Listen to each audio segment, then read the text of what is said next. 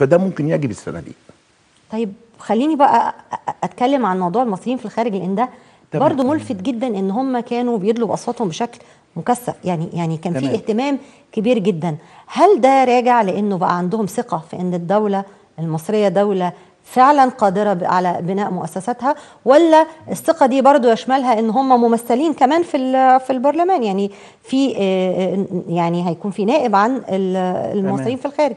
برافو عليك يا شهيرة. انت انت انت جاي انت جاي انت جاي النهارده تطلعي بانفرادات آه، بانفرادات للبرنامج العظيم بتاعك يعني. أشكرك.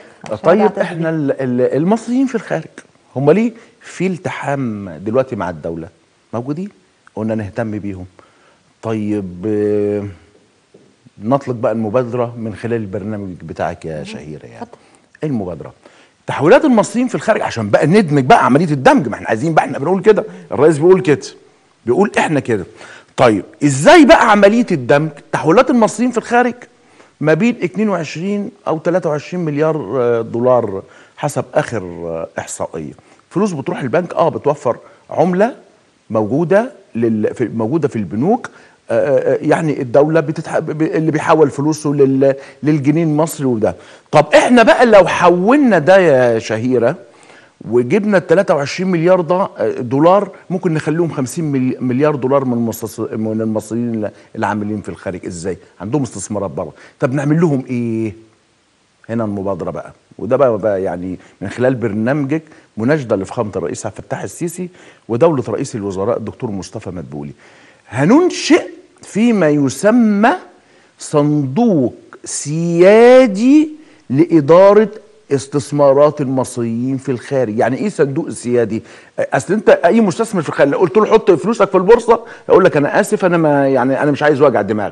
لكن لو رحنا جبناه ودخلنا في الصندوق السياسي السيادي ده آه، آه، مجموعة من المشروعات ونطرح اللي في الصندوق السيادي اللي هيكون فيه فلوس المصريين فيما يسمى بالسندات. هنحط فيه سند.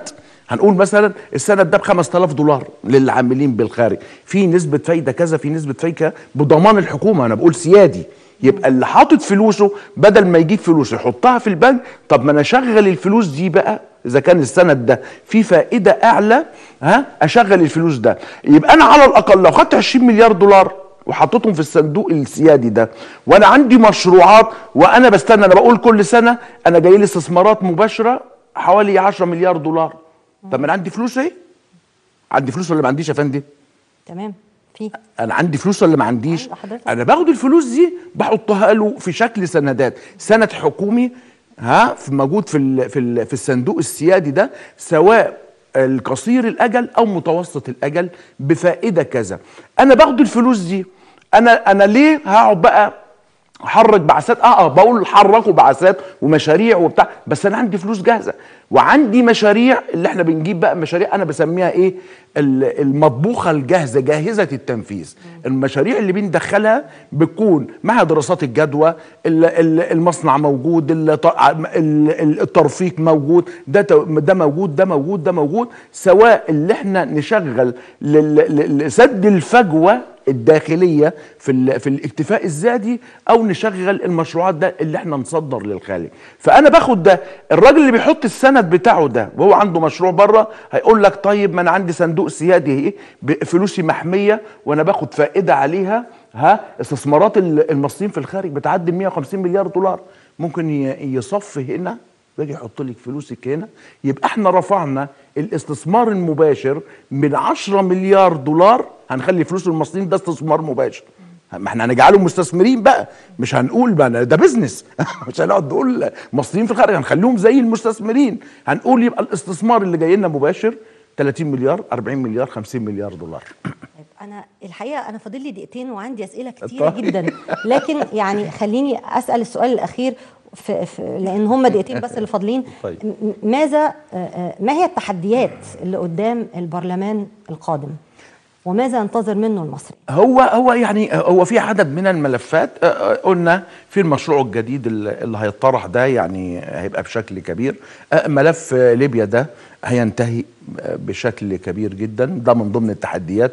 هيبقى الشغل برضو اللي هيتعمل في المشروع الجديد. ال- أتصور برضو ملف صد النهضة رغم يعني التصريحات العنترية وما قالوا ترامب يعني مش هيوصل للمرحلة دي. أعتقد في هو- النهايه هو الدولة في النهاية جاي حرصا وحكمة آه، آه. ومدركة أنها مش هتعمل أي تصرف إلا إذا آه كان آه وفق بالضبط آه، كده يعني. و... في في الشغل في الشغل الجديد المشروع الجديد هيتحل كله هيتحل. خلاص.